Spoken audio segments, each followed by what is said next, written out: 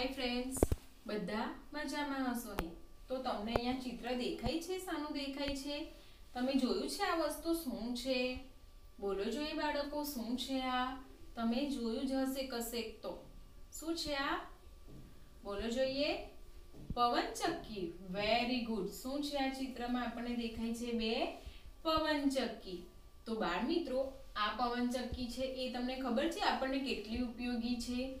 તો આનાથી આપણે વીજળી પણ ઉત્પન્ન કરી શકીએ છીએ અને ખેડૂત લોકો પણ આને ખેતી કામમાં ઉપયોગ કરી શકે છે.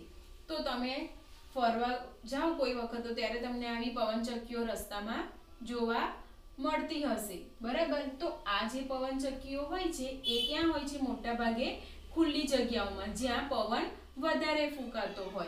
તો આ શાનાથી ફરતી હોય છે, પવનથી જ ફરતી હોય છે. બરાબર? તો ખુલ્લી જગ્યામાં મોટા ભાગે પવનચક્કીઓ જોવા મળતી હોય છે દરિયા કિનારે કે એવી ખુલ્લી જગ્યાઓમાં. અને આનાથી વીજળી પણ મોટા પાયા ઉપર ઉત્પન્ન કરવામાં આવતી હોય છે.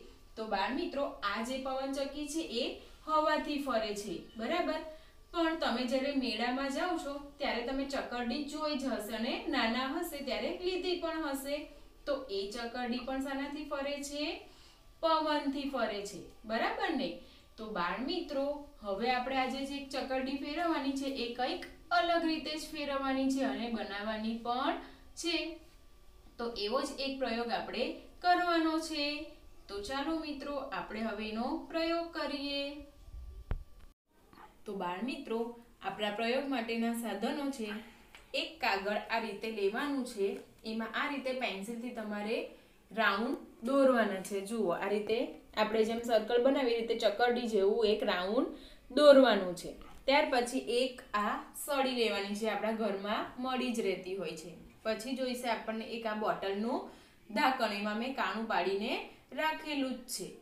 ત્યાર પછી એક કાતર જોઈશે, માચીસનું બોક્સ અને મીણબત્તી. બરાબર, તો સૌ પ્રથમ આપણે શું કરવાનું છે? પ્રયોગ કરવા માટે આ જે કાગળમાં આપણે દોરેલું છે, એને આપણે શું કરવાનું છે? કાપવાનું છે. તો આ જે મેં જ્યાંથી લાઈન કરી છે, ત્યાંથી આપણે કાપવાનું સ્ટાર્ટ કરીશું. જુઓ.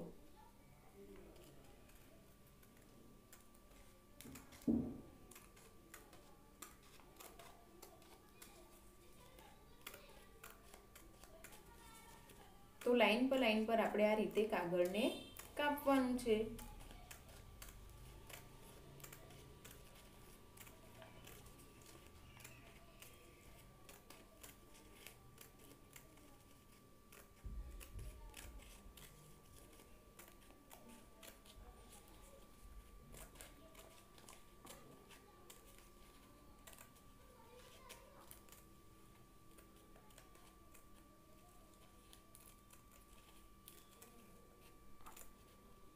તમને દેખાય છે ને કઈ રીતે કપાય છે નીચે? જુઓ. થાય છે ને આપણું? તો એ જ રીતે કાપવાનું છે કાગળને આ રીતે.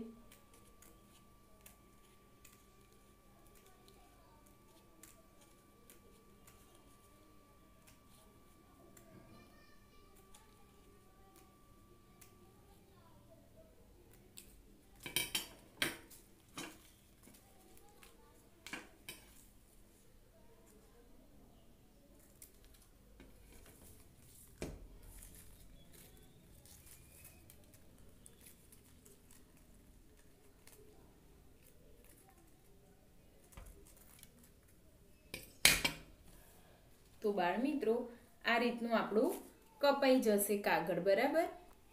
આ રીતે કપાઈ ગયું. ચાલો, તો હવે આપણે શું કરશું? એ કાગળને આપણે અહીંયા મૂકી દઈશું પહેલાં.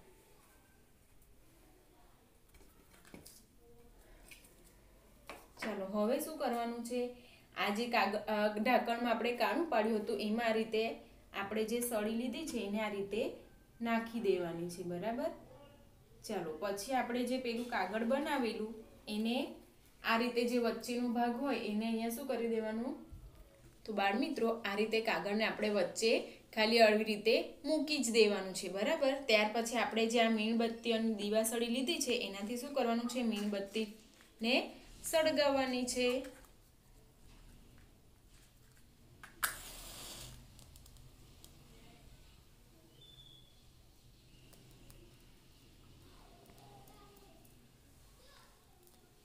તો હવે હું શું કરીશ? આ મીણબત્તીને આની બાજુમાં મૂકીશ. તો શું થશે? જોજો. તો જુઓ મિત્રો, આપણી ચકરડી ફરે છે ને મીણબત્તીથી? જો હવે હું આને મીણબત્તીને ખસેડીશ, તો શું થશે? બંધ થઈ ગઈ. થઈ ગઈ ને બંધ? ચલો, હવે હું પાછી મૂકીશ. તો પાછી ફરવા માંડી. તો મિત્રો, મજા આવે છે ને ચકરડી ફેરવવાની? તમારે પણ કરવું છે ને આવું? તો ઘરે મેં તમને બતાવી દીધું છે, એ પ્રમાણે કરવાનું છે અને ચકરડી ફેરવવાની છે. મજા આવે છે ને? મસ્ત ફરે છે ને ચકરડી?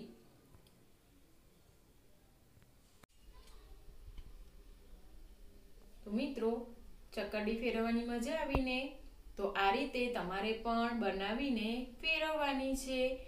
બરાબર ને? તમને મેં બતાવી દીધું છે આગળ કઈ રીતે કરવાનું છે. બરાબર? તો તમે પણ ઘરે આ પ્રયોગ કરજો. તો આપણે ફરી મળીશું. ત્યાં સુધી બાય બાય